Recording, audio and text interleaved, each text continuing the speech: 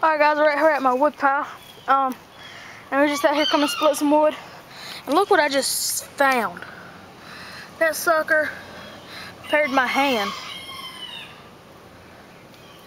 I don't know what kind he is, but he has these little spikes on him. He's pretty dang cool.